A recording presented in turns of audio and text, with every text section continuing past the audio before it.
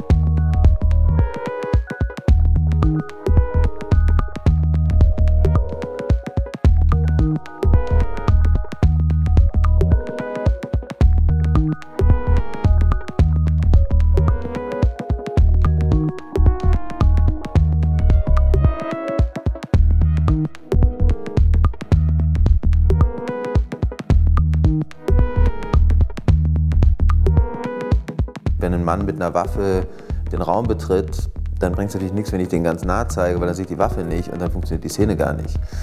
Ähm, also muss ich ihn zumindest so sehen, dass man irgendwie seine Pistole auch erkennt.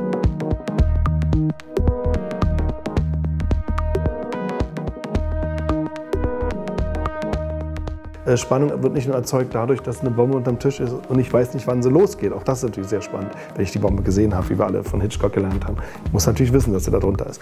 Also da gibt es tausende Tricks und tausende Möglichkeiten, äh, was zu erzeugen, aber ich muss schon als Zuschauer ernst genommen werden.